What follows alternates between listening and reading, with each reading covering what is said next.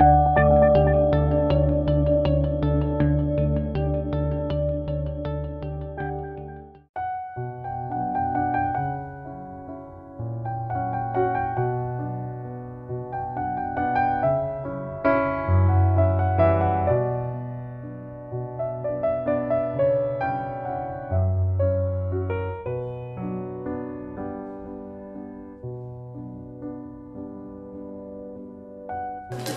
français, euh, surtout qui a eu cette année beaucoup de prix, hein, qui a été couronné au moins de deux grands prix littéraires français, hein, le prix Décembre et le prix Jonot. Hein, son dernier livre qui est d'ailleurs exposé Comment Baptiste est mort. Hein. Nos élèves ont travaillé en seconde sur deux romans. Les élèves de littérature et société qui sont un petit groupe de 20 ont travaillé sur ce dernier roman avec des extraits parce qu'on n'avait pas, on pas les œuvres au CDI, donc on a fait des extraits. Et les élèves de seconde ont travaillé sur le tombeau de Tommy, aussi ils ont lu et puis des extraits. Donc la rencontre c'est plutôt des questions-réponses. Il y aura peut-être des élèves qui vont lire aussi des extraits ou jouer des petites scènes. Très bien. Voilà.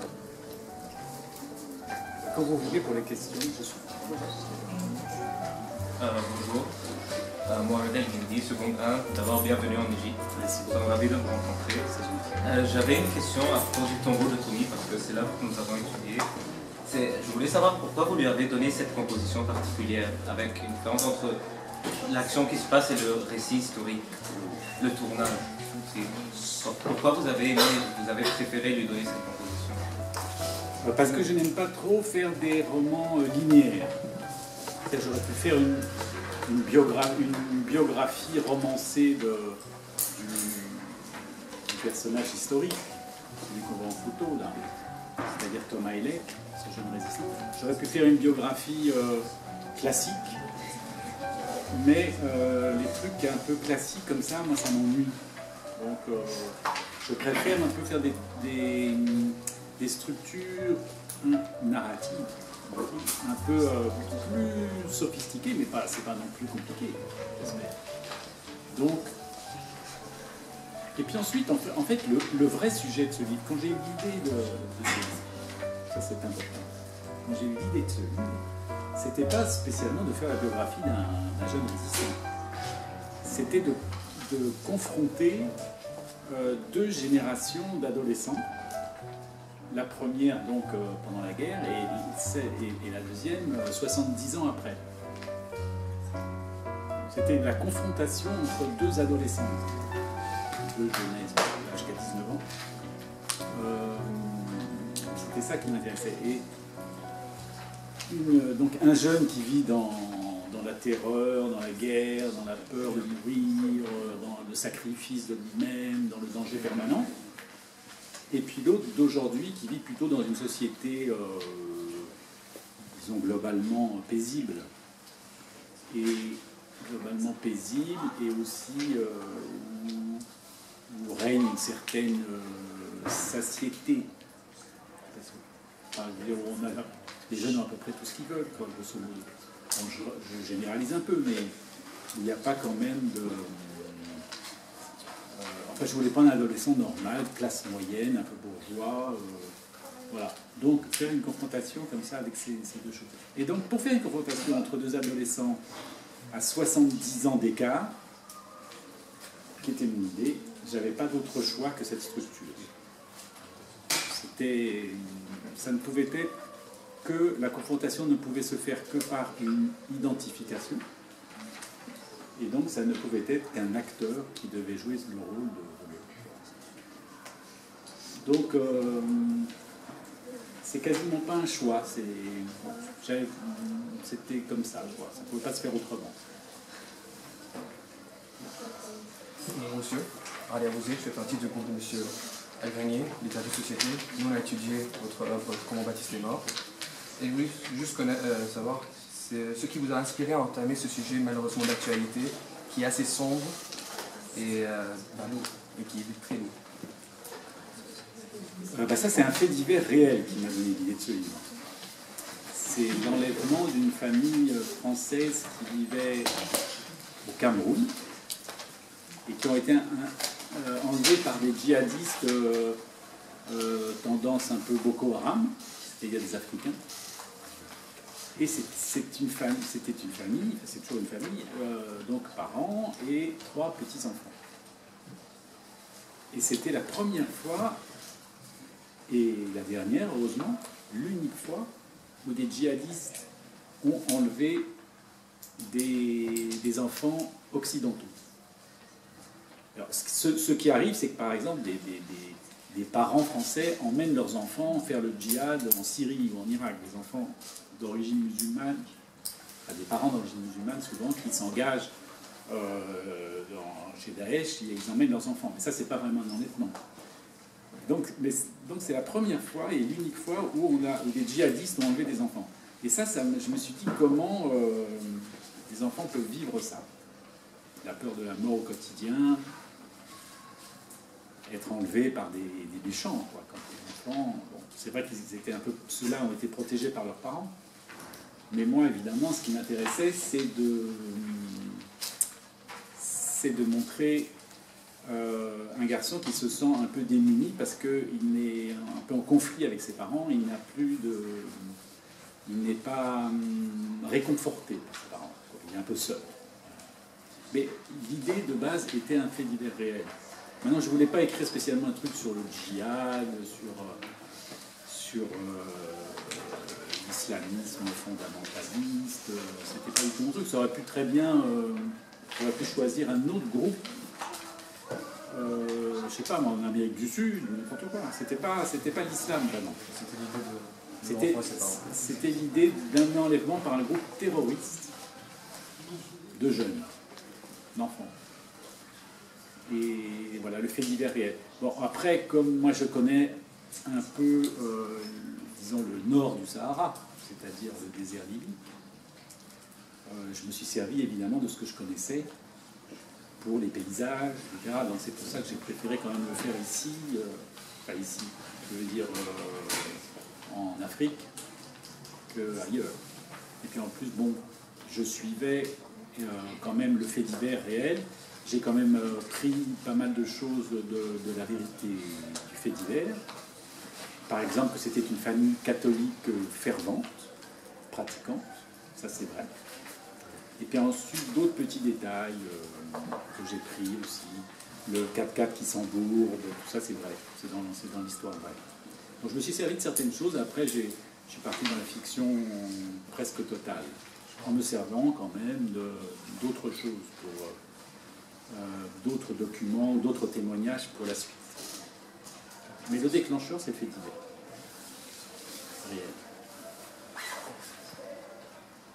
Bonjour, euh, je suis Lina dans le groupe de littérature. Et euh, on a étudié votre œuvre euh, Comment Baptiste est mort. Et en fait, on se demandait à plusieurs élèves pourquoi il n'y avait pas de point d'interrogation au titre. Et je vais demandé s'il y avait une raison particulière. Parce que ce n'est pas une question. Comment dire Comment dire Voilà, comment dire, c'est une question. Mais, comment Baptiste est mort Je vais vous dire comment Baptiste est mort. C'est pas une question. C'est clair. C'est une question, c'est comment fait-on une omelette? Je vais vous dire comment on fait une omelette. C'est pas une question. Donc il n'y a pas de point d'interrogation dans ces cas-là. Et c'est effectivement c'est important des gens, euh, j'ai rencontré pas mal de, lycéens dans des lycées, j'y vais souvent. Et parfois, par, exemple, à Londres, il a fait une affiche avec un point d'interrogation. Et, enfin bon, c'est pas très grave, mais euh, c'est un petit contresens. En plus, il n'est pas mort, donc. Euh... il est mort, c'est mort.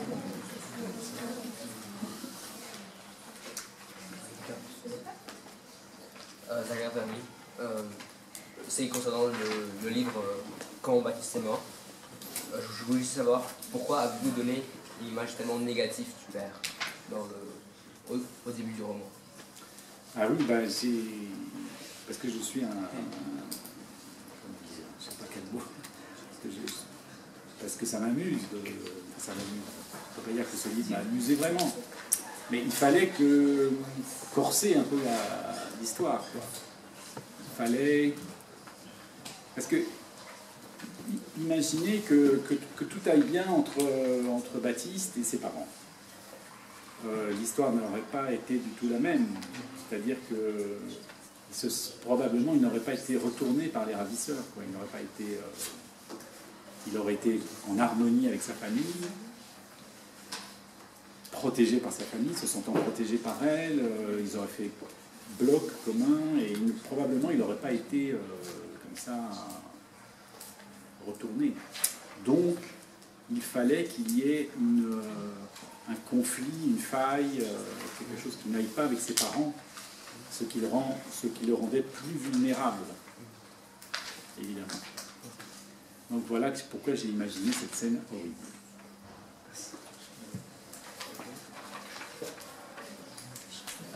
Ma question est toujours orientée vers le tombeau de Tommy, mais c'est un peu plus général parce que le tombeau de Tommy est quand même un roman assez historique qui est basé sur des faits réels avec, avec les attentats et tout ça. Je voulais savoir en quoi la rédaction d'un roman historique est-elle différente d'un roman fictif? Est-ce qu'elle est plus difficile? Elle demande, elle a certaines exigences qui sont différentes Oui, bien sûr. Bien sûr, des recherches. Euh, quand on écrit euh, une fiction, euh, on peut faire ça dans son lit. J'adore ça. Hein. Et on ne sort pas de chez soi. Formidable, tout dans, la tête. Et éventuellement, on va chercher des trucs sur Internet et qu'on trouve facilement. Là, là c'était beaucoup plus intéressant parce que Thomas Elec, euh, personne, on ne trouve rien sur Internet. La fiche Wikipédia, je crois que c'est moi qui l'ai faite. Je l'ai corrigé un peu. Mais on ne trouvait rien du tout. Donc il fallait aller faire des recherches euh, sur le terrain, comme un historien. Et c'est intéressant. Mais donc c'est pas du tout le même travail. Et là, j'ai passé quasiment deux ans de recherche dans les archives de la police, dans les, dans les archives de certains musées, le musée de la Résistance nationale, le musée de la Shoah. Et puis j'ai rencontré aussi la famille. J'ai voulu rencontrer des témoins. J'ai rencontré par exemple un homme, d'ailleurs formidable, le président du Secours populaire, tout ça, je le raconte d'ailleurs dans le livre. Hein. Je raconte toutes les recherches, puisque, puisqu'en fait, le, cinéaste qui raconte euh, toute la préparation de son film, c'est, moi en fait. Oui. N'est-ce pas? Donc euh, voilà, j'ai rencontré plein de témoins, enfin plein de témoins, des, témoins. Euh, et puis je suis à la recherche de trucs, par exemple, bah, les lettres, je raconte comment les lettres qu'il a écrites le jour de sa mort, n'existaient pas avant que je les retrouve par miracle. Donc voilà, donc c'est tout à fait, c'est un travail différent, c'est un travail plutôt d'historien, quand on veut être sérieux, évidemment. C'est un travail d'historien, il faut faire une enquête sur le terrain et dans les archives. Et ça m'a. Euh, finalement, c'est très prenant, c'est-à-dire qu'on se plonge complètement dans l'histoire d'un personnage et on est vraiment avec lui. J'ai été vraiment avec lui pendant presque deux ans, euh, très proche j'allais dans tous les lieux où il était allé, là où il a été fusillé, là où il... Comme une enquête. Voilà, comme une enquête. Et donc j'étais très proche de lui. C'est un peu différent que, que d'inventer totalement un personnage.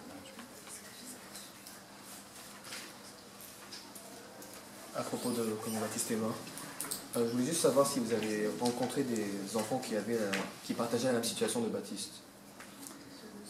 Euh, non, puisque donc il n'y en a eu que trois c'est ceux qui ont été vraiment enlevés. Euh, et donc, je ne les ai pas rencontrés. Je suppose que euh, les parents, les... j'ai même pas essayé. Hein. En général, je veux juste avoir des, enfants qui partageaient la, même conviction, pour connaître leur. Ah, la même conviction, euh, qui n'ont pas subi la même chose, mais qui. Voilà, qui ont subi un, enlèvement, ou n'importe quoi, qui ont, ou un détachement de famille. non, non, non, non, j'ai pas fait ça. Je ne sais pas comment j'aurais pu faire. Enfin, j'aurais fait peut-être une petite annonce quelque part, je ne sais pas. Comment j'aurais pu rencontrer. Moi, j'en connais pas, évidemment. Donc, je ne sais pas comment j'aurais pu faire pour rencontrer un garçon qui a été enlevé, comment il a vécu ça. Euh, en revanche, je me suis servi de témoignages, mais d'adultes qui ont été enlevés et, libérés. Je m'en suis beaucoup servi. Et puis, j'ai lu quand même, si, j'ai euh, lu, il y, a un livre d'un enfant soldat donc c'est un peu ça quand même. Euh, parce qu'en fait, euh, Baptiste, c'est plus, un enfant soldat qu'autre chose. C'est-à-dire que c'est quelqu'un qu'on enlève pour le transformer en guerrier. Et, à qui on fait commettre des atrocités. Alors ça, on a des témoignages. Il y, a, un film de Jonathan Little qui vient de sortir, que je n'ai malheureusement pas eu le temps de voir, mais qui traite du sujet. Euh, vous connaissez Jonathan Little qui a eu le il y a quelques années avec Les Bienveillants. C'est un livre très beau, énorme, et euh, là, il vient de faire un, film, un documentaire sur les enfants soldats en Afrique. Euh, et comment, voilà, comment les, enfants qui ont été enlevés dans des villages, par exemple, à, qui on fait commettre des atrocités tellement abominables que je ne veux même pas vous en parler, et, euh,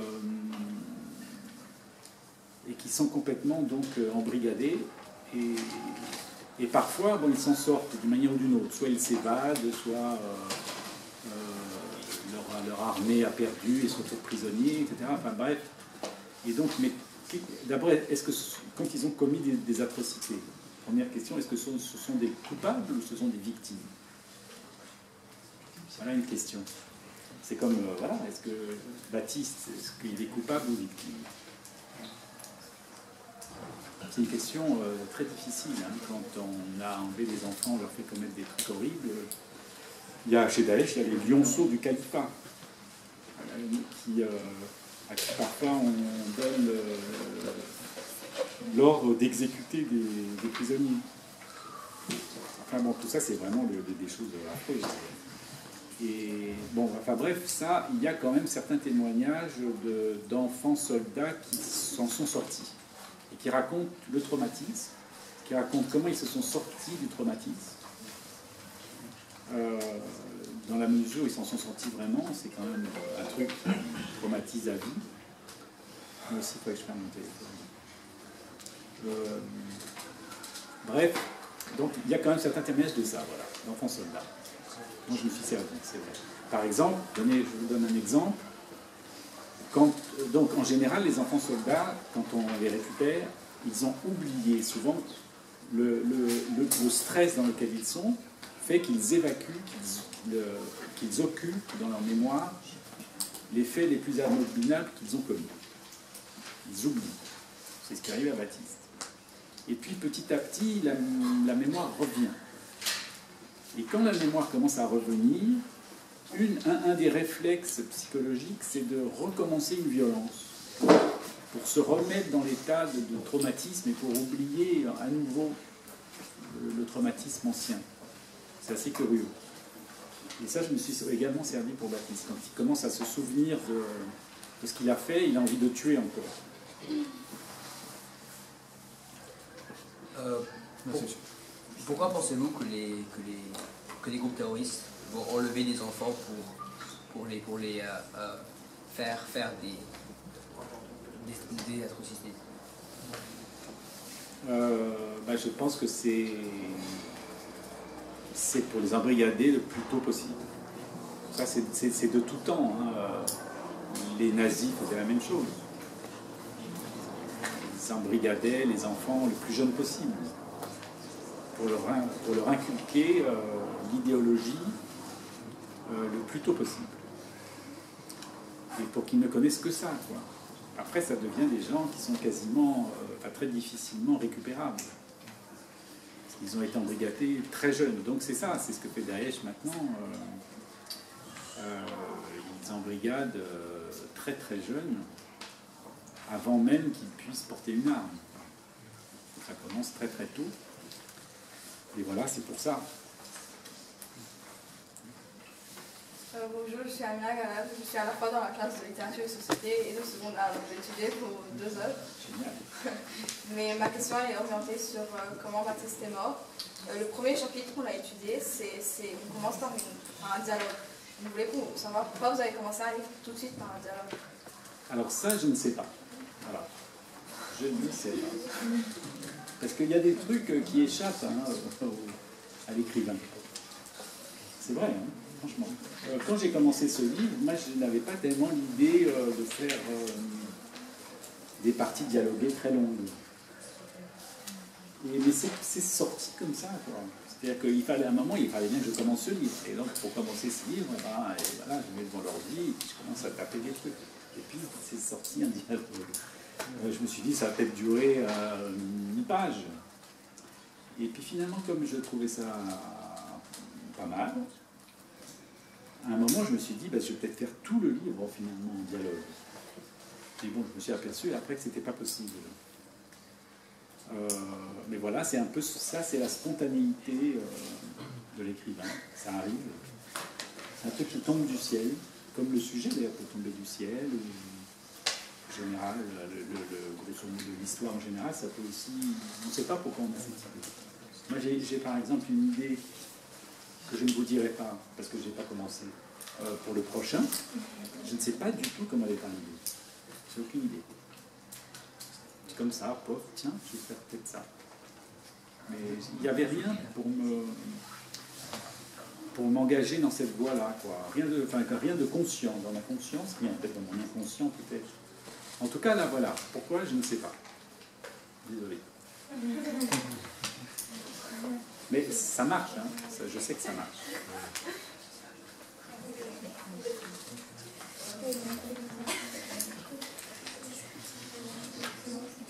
Euh, en fait, j'avais une question sur euh, le métier d'écrivain en général. Euh, déjà, est-ce qu'on on gagne bien sa vie en étant écrivain Évidemment, ça dépend. Ça dépend, ça dépend combien on vend de livres, c'est tout simple. Donc il y a des auteurs qui vendent énormément de livres qui sont très riches. Il y en a qui en vendent très peu, qui sont très pauvres. Donc, enfin, qui ont un deuxième métier forcément. Est-ce que vous avez déjà envisagé un, autre métier? Euh, un autre métier que l'écriture, oui, j'ai envisagé, mais quand j'étais jeune, très jeune. Je voulais être chanteur avec une guitare. je voulais être comme Johnny Hallyday. Quand j'étais tout petit. Alors, après, j'ai voulu être archéologue. Voilà. Bon, finalement, euh, un peu plus tard, euh, assez tôt, j'ai eu envie d'écrire. Mais je savais très bien que j'allais peut-être pas vivre de, ça. Donc euh, j'ai fait des études de lettres et je me suis. Et à un moment, euh, j'ai pensé un peu être professeur. Et puis après, je me suis dit que si j'étais professeur, j'aurais peut-être pas toute la liberté que je voulais d'aller, venir, de voyager, tout ça. Donc j'ai cherché et puis la chose la plus naturelle était d'aller travailler dans une maison d'édition. C'est ce que j'ai fait. À l'époque, on trouvait beaucoup plus facilement mon travail qu'aujourd'hui. Hein. À la limite, on frappait une porte d'un éditeur, on disait, voilà, il faisait faire un petit test, et puis si le test était bon, bah, il nous engageait. C'était bon temps, ça. Et ça fait très longtemps. Donc voilà, j'ai commencé donc à travailler dans l'édition et à faire des, lectures de manuscrits, des corrections de manuscrits. J'ai écrit, des livres que d'autres ont signés. Ça s'appelle être nègre. C'est un métier que beaucoup d'écrivains font. Et puis, euh, on m'a aussi demandé d'écrire des livres sur des sujets, euh, sur des sujets qui ne m'étaient pas personnels, mais mais qui ne me déplaisait pas. Donc c'est des livres de commande. L'éditeur commande à un auteur d'écrire un livre sur euh, la cravate, les gâteaux au chocolat, n'importe quoi. Et, j'ai commencé à faire ça. Et je le fais ça, je le fais toujours. Il y a encore des éditeurs qui me demandent d'écrire sur des sujets euh, les plus divers. Et, en réalité, c'est plutôt comme ça que je gagne ma ça, ça c'est des livres euh, euh, qui sont déjà. Puisque, puisque les éditeurs les veulent, ça veut dire qu'ils vont, qu'ils vont se vendre. Donc, ça, ça marche. Voyageur en Égypte, par exemple, c'était. Non, un voyage en Égypte, c'est moi qui ai eu l'idée, ça. Ah, c'est toi qui as eu l'idée Oui. Et qui l'ai proposé à Flammarion. Euh, le tableau des oasis également. C'est moi qui ai eu l'idée. Euh, mais non, mais euh, les livres dont je parle ne sont, ne sont pas là et il faudrait trois, trois ou quatre tables pour les mettre, pour mettre dessus. Il y en a énormément, je, n'arrive pas d'en faire. Il y en a énormément. Donc, euh, mais ils ne sont pas là. Et, et, je les signe sous pseudo, donc je sais que Pseudo, ça veut dire que c'est pas son nom. Euh, Tu oui, sous pseudonyme. pseudo pas sorti, peut-être l'ai. Oui, peut-être. C'est quoi Et j'ai pris comme pseudonyme toujours des boissons euh, égyptiennes. Comme- et, et je francise après. Donc il y a par exemple François Chaille. J'ai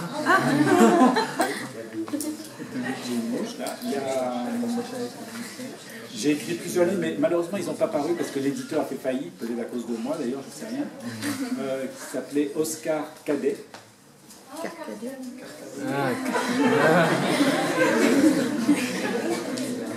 Euh, et puis j'ai un autre. La pierre euh, aussi, non Alain Comment la pierre Voilà, euh, Alain Stella. Stella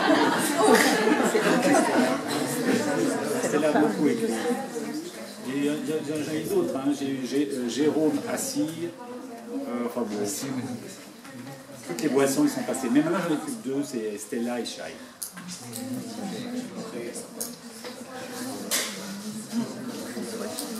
Et ça, si vous allez sur Amazon et tout, vous allez voir tout ce que j'ai fait. J'ai fait énormément. Vous n'arrivez jamais sur des plateaux de télévision sous le nom de Ça François Mais alors les gens vous reconnaissent Bah, euh, euh, j'ai pas l'impression, je suis pas assez célèbre. Mais ça m'est arrivé une ou deux fois. Mais cette fois, c'est de retour au tombeau de Tommy. Si, ça c'est plutôt une opinion personnelle, si vous deviez sélectionner une scène comme étant la plus importante du livre, laquelle choisirez-vous? Le tombeau de Tommy, Oui. ah, peut-être euh, peut-être celle euh, que je n'ai pas vraiment inventée d'ailleurs, parce que le Tommy, je me suis au- beaucoup servi aussi, euh, j'ai parlé de, recherche euh, historique, mais je me suis aussi beaucoup servi des mémoires qu'a écrit sa mère. Voilà. Et ça m'a évidemment été extrêmement utile. D'ailleurs, je ne pense pas que j'aurais choisi lui, je n'aurais peut-être pas choisi lui s'il n'y avait pas les mémoires de sa mère. Il y a une très belle scène qu'elle-même raconte en, en petit, moi je l'ai un peu allongé. C'est que a, après avoir commis un attentat, il a fait dérailler un train. Il revient euh, épuisé parce qu'il a passé la nuit dehors sous la pluie, dans la boue et tout. Il revient épuisé euh, et il revient se faire un peu euh, dorloter par sa maman. Après avoir tué, je sais pas, 600 Allemands en faisant dérailler un train. C'est une histoire vraie et, et j'ai trouvé cette scène euh, assez belle. Quoi. Il avait besoin de l'affection de sa mère après avoir fait ça. Et en même temps, il lui donnait aussi de la force. Oui, exactement. Ouais, c'est une de mes scènes préférées, je crois.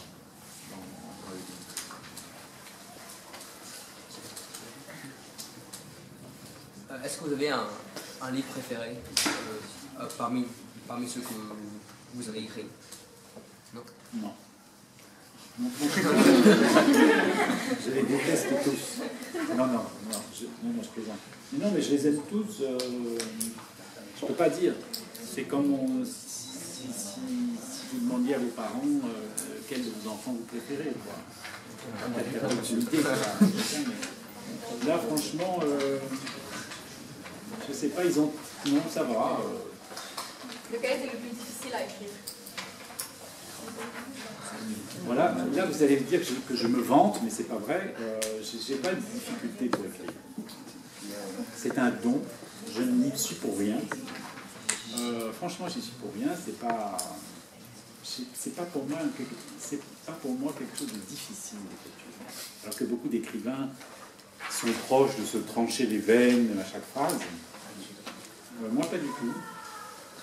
Pas du tout. Euh, J'ai l'habitude de dire que c'est plutôt un plaisir d'écrire. Parce que c'est un jeu, voilà. mais c'est un jeu difficile. C'est un jeu, mais c'est quand même un jeu, avec des règles précises. C'est comme les échecs ou le jeu de Go. C'est un jeu difficile, avec des règles strictes. Et parfois, euh, parfois pénibles. Mais ça reste un jeu. Donc, euh, j'ai pas trop de difficultés. Euh, voilà, le plus difficile, c'est quand c'est historique, c'est d'avoir tous les, tous les éléments. Et de les avoir au bon moment. Et voilà. Mais sinon, je ne peux pas répondre à cette question.